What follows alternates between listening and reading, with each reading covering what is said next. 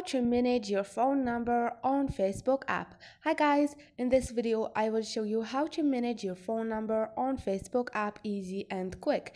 So first thing go to your Facebook. Once you are here click on those three lines up there and all you need to do is click on the search the student icon beside the search icon. And here click on the personal and account information.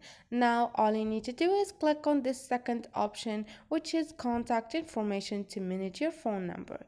Here you had add phone number click on it.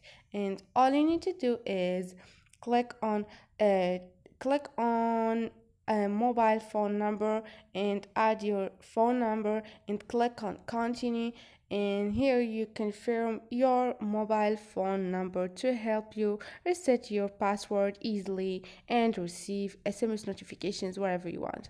So this is it guys. Hope this video was helpful for you. If it was don't forget to subscribe and like.